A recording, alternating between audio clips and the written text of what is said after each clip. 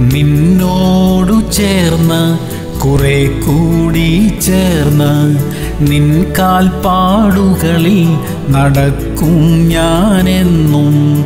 നിന്നോടു ചേർന്ന് കുറെ കൂടി ചേർന്ന് നിൻ കാൽപ്പാടുകളിൽ നടക്കും ഞാനെന്നും.